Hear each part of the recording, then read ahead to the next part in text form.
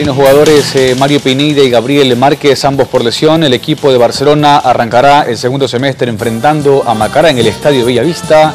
Los amarillos también esperan iniciar con pie derecho el segundo semestre del año. Barcelona Sporting Club entrenó en la cancha alterna Gapito Sigifredo Chuchuca pensando en el duelo ante Macará.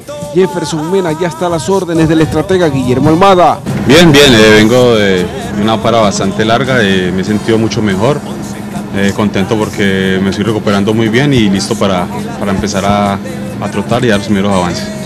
El zaguero colombiano mostró su malestar por no tener minutos en cancha debido a sus lesiones. Claro, claro, es, es frustrante en lo personal porque queremos jugar, queremos entrenar, prepararnos y, y dar lo mejor de sí. Sin embargo, es agradecido por el respaldo del cuerpo técnico, dirigencia y compañeros. Sí, sí, eh, eh, siempre hemos tenido respaldo de, de, los, de los, profesores, de, de, los dirigentes y eso es muy importante para mí. Eh, ahora, como te digo, muy contento porque vengo saliendo de la lesión y, y llegar a las canchas a entrenar, a correr y demostrar lo mejor de sí. Por otro lado, Gabriel Márquez realizó trabajos diferenciados mientras que Mario Pineida asistió a una sesión de terapia. Jorge Villasís